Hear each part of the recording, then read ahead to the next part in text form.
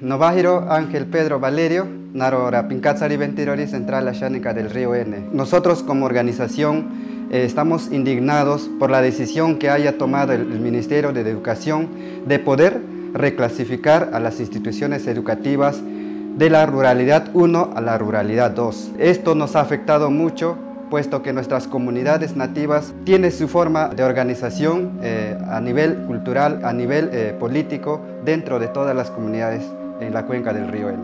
En primer momento quiero mencionar que este problema ha sucedido a raíz de que el INEI en el año 2017 ha hecho eh, el censo a nivel de todo el Perú y en nuestras comunidades no se hizo un buen trabajo, puesto que los funcionarios, eh, los censadores que han ido a todas las comunidades no han hecho un buen trabajo. ¿Por qué? Porque el tema de la organización de cada una de las comunidades eh, se concentra en una comunidad centro, que nosotros le llamamos la capital, como es en Lima, pero también tiene sus anexos. En cada una de las comunidades tienen por lo menos dos o tres anexos que la distancia es cuatro horas, cinco horas, hasta ocho horas de caminata. Entonces eh, eso hace que a nivel de fuera se ve que hay bastante población. Sin embargo, dentro de nuestra realidad es distinto.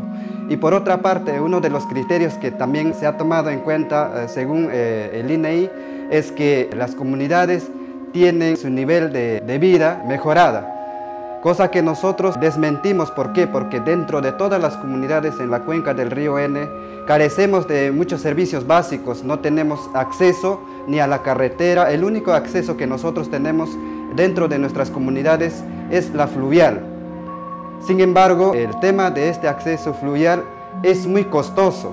¿No? ¿Por qué? Porque las últimas comunidades que nosotros tenemos, viajar en bote es a 8 horas, a 9 horas y que los costos simplemente llegan a 180 hasta 200 soles por solamente llegar a esa comunidad. Entonces, esto no ha tomado en cuenta el INEI, por eso es que estamos teniendo este problema. ¿Qué es lo que hace eh, el INEI? Con esta información relativa, entrega a todos los ministerios para que eh, ellos puedan tomar cartas en el asunto. Cuando llega en el Ministerio de Educación, dentro de su área de estadística, reclasifica a todas las instituciones educativas. Con esta reclasificación, la gran mayoría, de, eh, por qué no decir el 100% de todas las comunidades, es rural 1. ¿Qué quiere decir esto? Todas las comunidades no contemplan los servicios básicos que quisiéramos tener, agua y desagüe, no tenemos eh, infraestructuras eh, a nivel educativo bien implementados ni equipados y por último, no tenemos profesionales idóneos que puedan ir a trabajar dentro de nuestra cuenca por múltiples factores. ¿no? Y por otro lado, es que a nivel de los costos que vienen gastando los docentes que van a trabajar allá, no es eh, compensable con el trabajo que va a realizar el docente. Y por último, los pagos que reciben los docentes no alcanza para nada para la canasta familiar que, que debería recibir el docente. Nosotros como organización CARE, a través de muchas gestiones que hemos realizado, hemos logrado de que eh, algunos, este, la gran mayoría de los docentes que trabajan eh, en nuestra cuenca podamos conseguir eh, algunos bonos adicionales de los pagos que reciben. Uno de ellos es la ruralidad y lo otro es porque son instituciones unidocentes. Este año hemos recibido esta mala noticia de que el Ministerio de Educación ha reclasificado a tres comunidades nuestras, que es a la comunidad nativa de Pozoteni, Unión Puerto Xánica y Aquempiri, a la ruralidad 2. Y con esta reclasificación nos ha perjudicado tremendamente a esas tres comunidades. ¿Por qué? Porque se reduce los bonos de los docentes que perciben actualmente.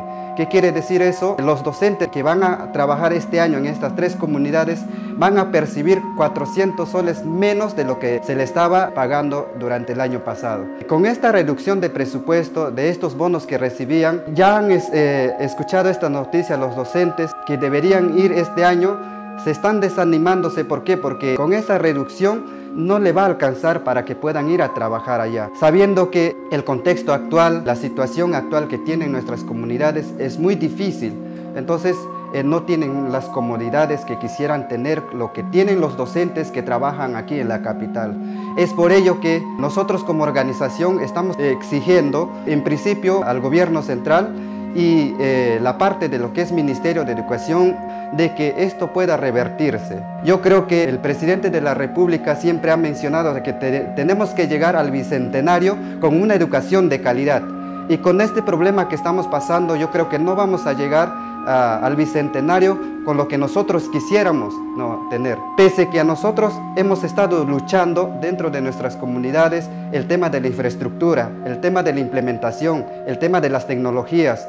Sin embargo, hasta ahorita el Estado no nos ha atendido. Y con este problema más que estamos acarreando como comunidades nativas, no puede ser en el año que estamos ahora, que estamos a puertas de llegar a celebrar al Bicentenario, no podemos estar en esa misma situación. Muchas gracias.